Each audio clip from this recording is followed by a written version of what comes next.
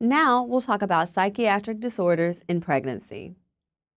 So there are three psychiatric disorders that we see in pregnancy postpartum blues, postpartum depression, and postpartum psychosis. Let's take the time to explore each of these. So, postpartum blues, it occurs in about 50 to 80% of pregnancies, so it's very common. The symptoms are guilt, crying, feeling overwhelmed, and the onset is usually anywhere between birth to two weeks after delivery. The treatment, spontaneous, it resolves on its own, so you just reassure mom if she has these symptoms. Next is postpartum depression. Now, there are risk factors for postpartum depression. You need to be aware of these so that when you see your patients during pregnancy, you also make them aware that if these symptoms start to happen associated with postpartum depression, they should seek your care. So, if a patient has a history of postpartum depression or depression in general, they're at increased risk for developing postpartum depression. If they have poor social support, if their baby has health problems, or if there's another baby that they're taking care of, another child they're taking care of that has health problems, they are at increased risk for developing postpartum depression. If they have difficulty with breastfeeding, if we remember from the breastfeeding lecture, breastfeeding is one of the things that protects us against postpartum depression. So if there's difficulty with breastfeeding, this can be a risk factor. And also for families or moms that have financial difficulties, they're at increased risk for developing postpartum depression as well. So, with postpartum depression, it occurs in approximately 15 to 25% of pregnancies. Now, that rate may actually be a bit higher because sometimes we're not so great at diagnosing it. Speaking of diagnosis, there is a way to diagnose postpartum depression. It is called the Edinburgh Postnatal Depression Scale. This scale is administered to up to, from two weeks up to a year after delivery. It is a self administered questionnaire where patients are able to assess how well they are coping with their new state of being a mom. It's very good at determining who has postpartum depression. So, what are the symptoms? Inability to cope, if they have disinterest in themselves, disinterest in their child, disinterest in their normal activities. That patient may have postpartum depression. Onset of symptoms can be anywhere from two weeks up to a year after the birth of their child.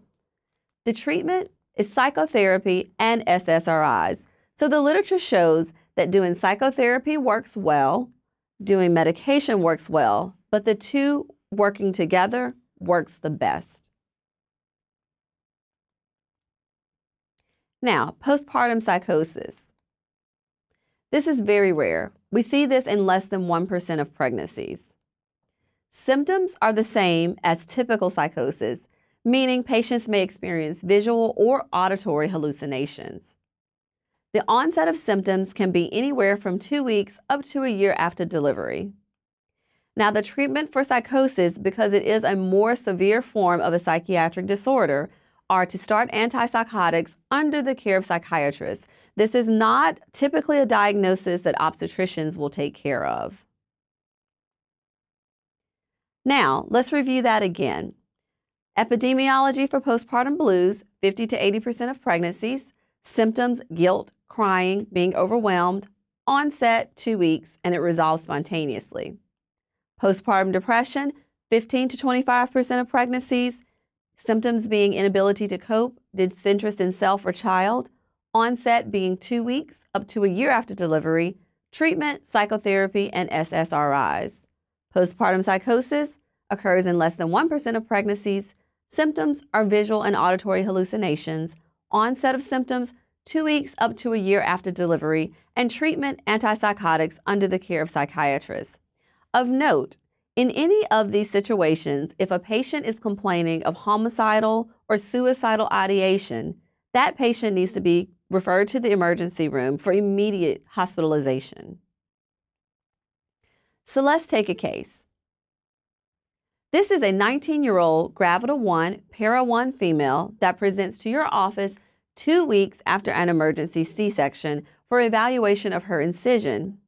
You notice that she appears unkempt and sees, seems disinterested in her infant. Upon further questioning, she reports separating from her partner and has poor family support. She reports crying all the time and she is having difficulty coping. The next best step in managing this patient is A. Reassurance, B. Begin a selective serotonin reuptake inhibitor or an SSRI, C. Hospitalization under the care of a psychiatrist, D. Reevaluate symptoms in two weeks to determine if they have resolved. What do you think the answer is? The answer is B. We want to begin a selective serotonin reuptake inhibitor. Let's break down this question. Now, she's presenting two weeks after her C section. Okay, so that lets us think that now the symptoms are starting two weeks after delivery. She seems unkempt and disinterested in her child, which means she's also disinterested in herself. And she has separated from her partner and has poor family support. She's crying all the time and having difficulty coping. These are all symptoms and all risk factors for postpartum depression. So A is incorrect. Reassurance is only used for postpartum blues. C is incorrect because we use this if suicidal ideation, homicidal ideation is present, or psychosis. And D, yes, we may want to reevaluate the symptoms in two weeks, but the patient needs therapy now.